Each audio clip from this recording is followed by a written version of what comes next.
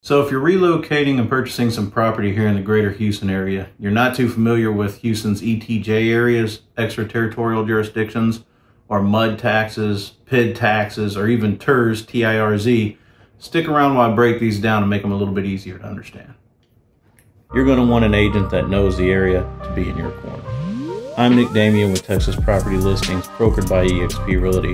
I'm a native Houstonian and licensed Texas agent. Don't go at it alone. Give me a call to discuss your real estate goals.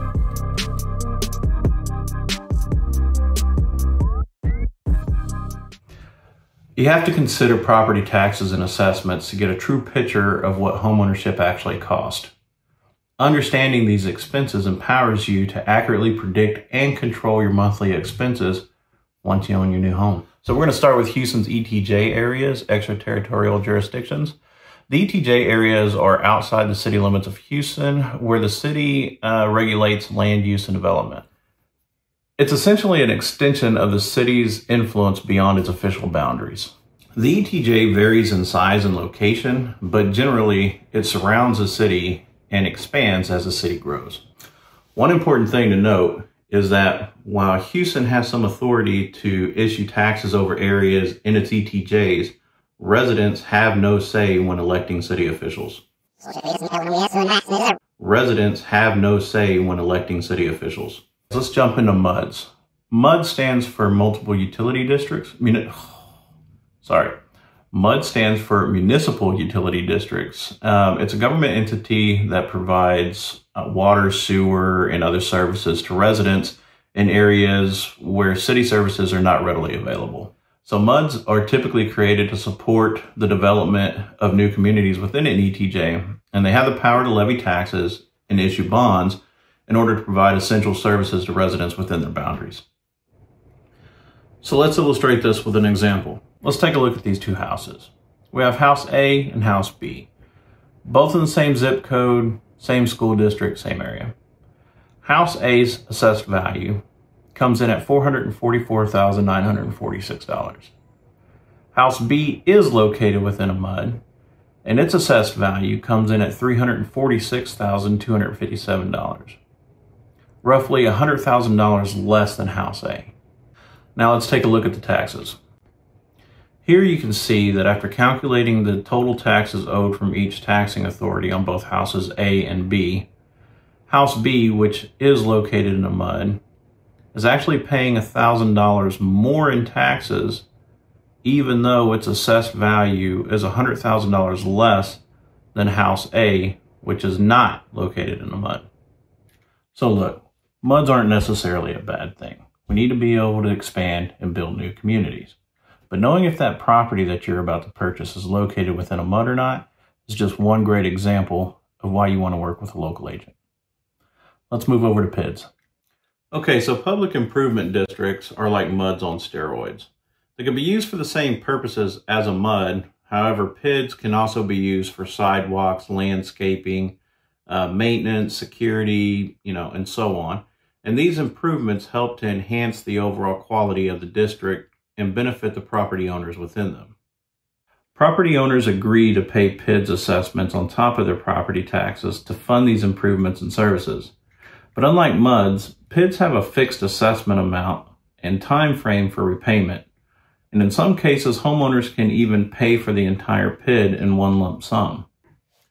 So finding the required information for a PID uh, can take a little bit more time, uh, require a bit of research, uh, unfortunately, I can't just uh, use a map layer with PIDs like I did with ETJs and MUDs.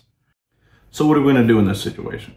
Well, we're going to do what we do with every house before it goes on the market. We're going to do our research. So I'm going to use this house as an example um, that's currently on the market in Woodleaf Reserve. We're going to go take a look at the tax page, look at the assessments and taxes, and we see here that we don't see anything regarding a PID assessment.